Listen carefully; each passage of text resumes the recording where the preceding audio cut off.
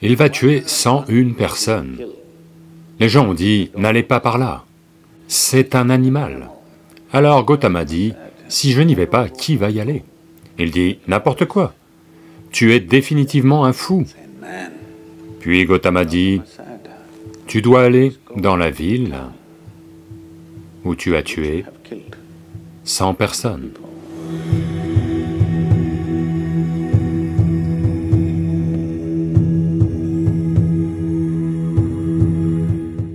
Une fois, il y avait un homme. On a oublié son nom d'origine. Le nom que les gens lui ont donné est Angulimala.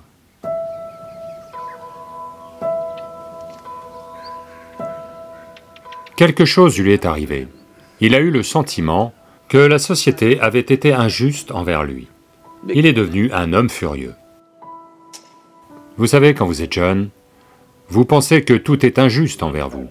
Donc, il est devenu très en colère contre la société et il a fait un vœu. Cette ville, qui a été injuste envers lui, il va tuer 101 personnes. Il va tuer 101 personnes et il va couper les pouces de chacune et les porter comme un chapelet autour de son cou, une guirlande de doigts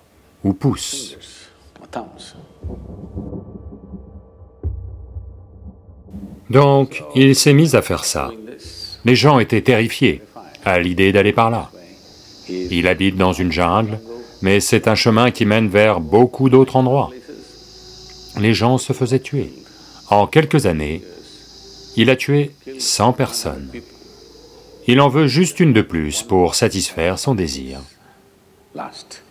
Donc un jour, Gautama, Bouddha, arrive dans cette ville. Donc à ce moment-là, comme il porte une guirlande de ses doigts, ils l'ont appelé Angulimala, ce qui veut dire celui qui porte une guirlande de doigts. Il lui faut juste un doigt de plus pour réaliser son vœu.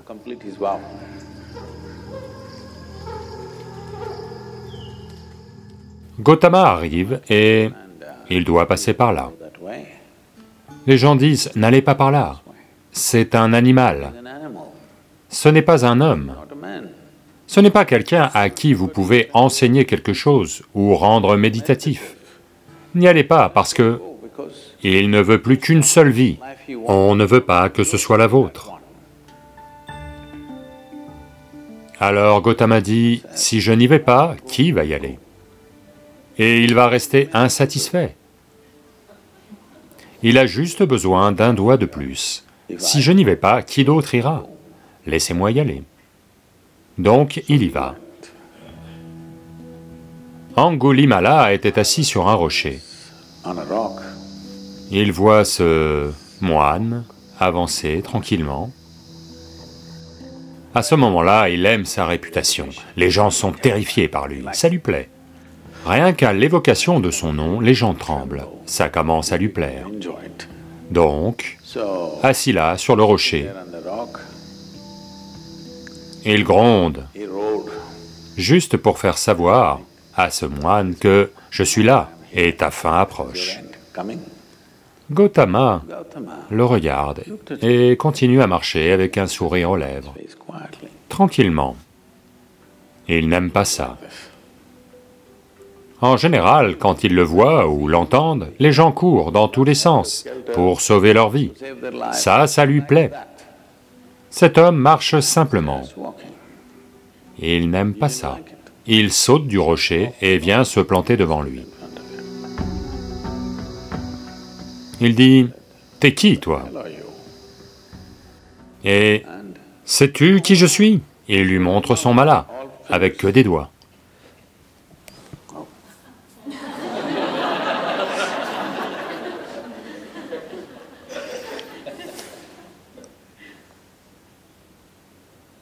Et tu as entendu parler de moi? Gautama dit, eh bien, j'ai beaucoup entendu parler de toi. Et alors quoi? Et continue de marcher. Où crois-tu donc aller? Tu continues, même quand je te parle? Gautama dit, je me suis arrêté il y a bien longtemps. Mon chemin s'est arrêté il y a longtemps, je suis arrivé. C'est toi qui essaies d'aller quelque part. Alors Angulimala rit et dit, n'importe quoi, tu es définitivement un fou. Je suis debout, immobile, tu dis que je vais quelque part Tu marches et tu dis que tu ne vas nulle part Qu'est-ce qui ne va pas chez toi? Il dit, non, non, je suis arrivé il y a longtemps, je ne vais nulle part. Tu es celui qui essaie d'aller quelque part. Mais tu ne sais pas comment y aller. Tu veux mon doigt Ou tu veux mon cou? Attache ma tête en, tu sais, en pendentif. Tu as des doigts. Tu peux attacher ma tête, ça fera un bon pendentif pour le collier. Parce que j'ai fini. Je suis arrivé. Peu importe que je sois physiquement ici ou non, tu peux faire ce que tu veux. Voyez, le plaisir de ce meurtre n'est que quand vous êtes terrifié et que vous ne voulez pas mourir. Quand quelqu'un veut mourir, il s'en fiche. À quoi bon tuer ce gars? Et il semble que même si vous tuez ce gars, votre désir de sang une vie ne sera pas comblé, parce que ce gars ne vous donne pas ce plaisir. Alors il dit, attends, dis-moi, de quoi s'agit-il? Tu bouges et tu dis que tu es arrivé et que tu ne bouges pas? Je ne bouge pas et tu dis que je bouge? Tu cherches à être comblé, à ta façon, sans une. Moi, je suis comblé, c'est la grande différence. Et tu peux prendre ma vie. Si tu penses que ça va te combler, fais-le. Parce que c'est mon travail, de combler les gens. Si c'est tellement facilement que sans enseignement, juste en me tranchant la gorge, tu vas être comblé, vas-y, fais-le, où est le problème? Et Angulimala devint son disciple star. Puis Gautama dit, tu dois aller dans la ville où tu as tué 100 personnes. Dans une petite ville, 100 personnes veut dire que presque toutes les familles ont perdu quelqu'un avec cet homme. Donc, il a fait de lui un moine. Les moines de Gautama étaient appelés bhikkhus. Bhikkhu signifie mendiant, littéralement. Donc, il lui a donné un vêtement jaune et un bol de mendiant. Il dit, va chercher de la nourriture en ville. Donc Angulimala entre dans la ville en moine. Les gens voient ça et sont terrifiés, ils ne savent pas pourquoi il est venu. Ils montent tous sur leur terrasse, parce qu'ils ont peur de ce qu'il va faire. Puis quand ils voient qu'il est devenu inoffensif, qu'il n'est plus le même homme féroce, ils commencent à lui jeter des pierres, parce que chaque famille a perdu quelqu'un à cause de lui. Donc il a continué. Les pierres le frappaient, il saignait de partout. Puis quand les jets de pierres sont devenus un peu excessifs, Gautama est arrivé et a demandé aux gens d'arrêter. Et a dit, « Ceci n'est plus le même homme. Cet homme est une extension de moi. C'est à moi que vous jetez des pierres. Arrêtez. Il ne sert à rien de tuer cet homme parce que cet homme, de façon très dure, a atteint la réalisation. Vous ne pouvez pas gâcher cet homme maintenant en le tuant. Et Angulimala est devenu, comme je l'ai dit, un disciple star. Il a parcouru tout le pays en diffusant, vous savez, le mode de vie et de connaissances bouddhistes. Donc peu importe par quoi vous cherchez à être comblé. Vous pensez que ça va arriver à travers l'éducation, ou du moins vous le pensiez.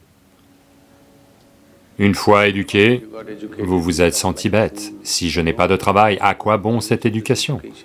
Vous avez trouvé un travail, vous vous êtes senti super. Puis après quelque temps, vous vous êtes senti bête. Qu'est-ce que je vais faire de cet argent si je ne trouve pas l'homme ou la femme de mes rêves? Cela est arrivé. Au bout d'un certain temps, vous vous êtes senti bête.